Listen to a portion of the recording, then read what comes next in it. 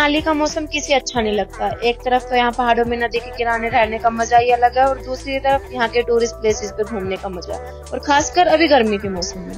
तो हेलो दोस्तों, मेरा नाम संजू है और मैं हरियाणा से बिलोंग करती हूँ और ये मेरा पहला ब्लॉग है। आई होप आप लोगों को अच्छा लगेगा।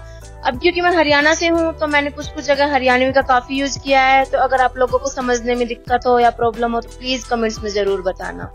तो आज हम जा रहे हैं एक ऐसे ही फ़ेमस टूरिस्ट प्लेस की तरफ़, जो कि है हरिम्बा देवी टेंपल तो चलिए ब्लॉग को शुरू करते हैं। आपको दिखाते हैं खूबसूरत सी नदी।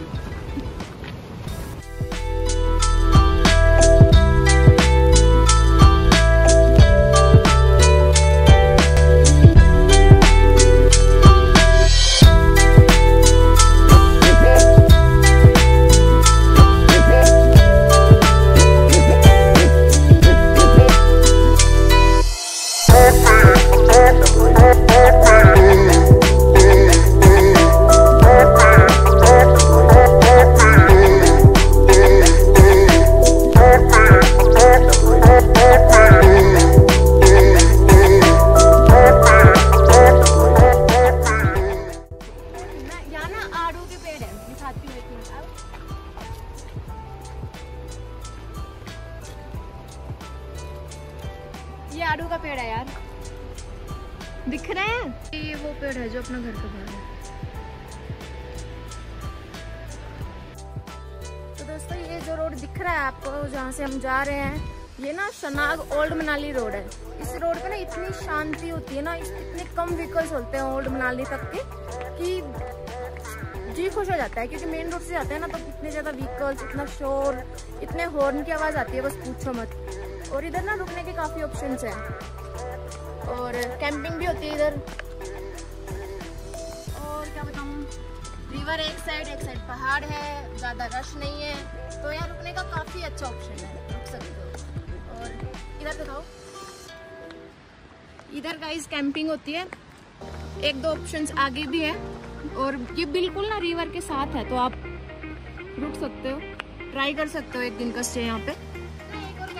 साइट है। यहाँ ना मतलब इस एरिया में थोड़ी सी ना दो तीन कैंपिंग साइट है और अच्छी लोकेशन है काफ़ी हेलो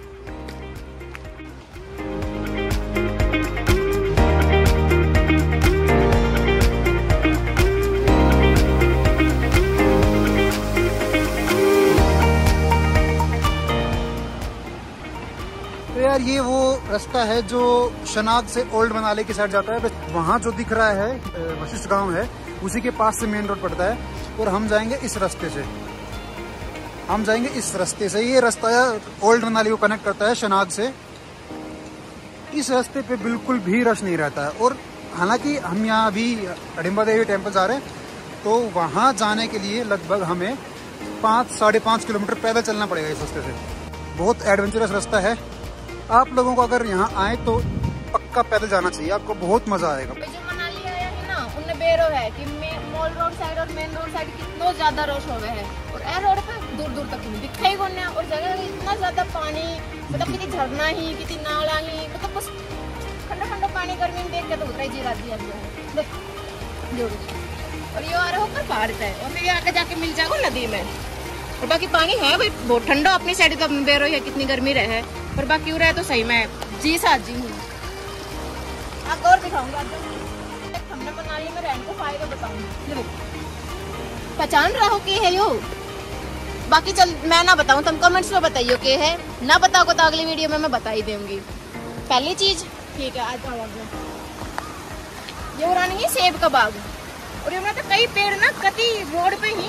तो हम तोड़ कर आराम से खास को हो सीज़न में। सेब को पेड़ बाकी mình đang kinh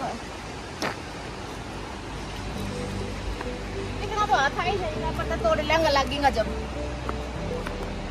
थोड़ी सी आगे जाके है चेरी को पेड़ ये चेरी को पेड़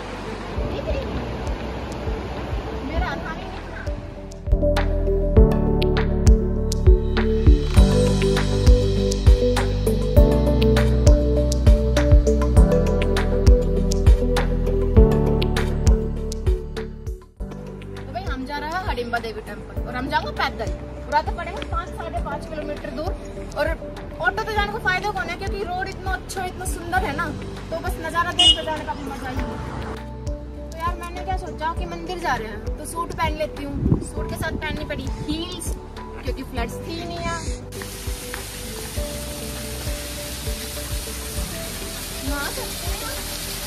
पर पानी ना बहुत ठंडा मिलेगा।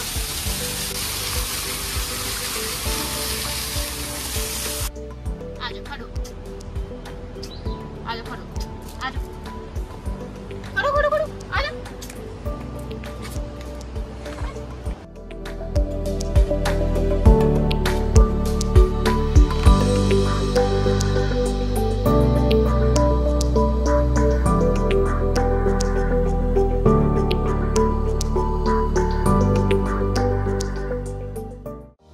यार क्योंकि वीडियो ज़्यादा लंबी हो रही है तो इसके आगे हिडिम्बा देवी टेंपल की पूरी विज़िट हम वीडियो के पार्ट टू में कवर करेंगे।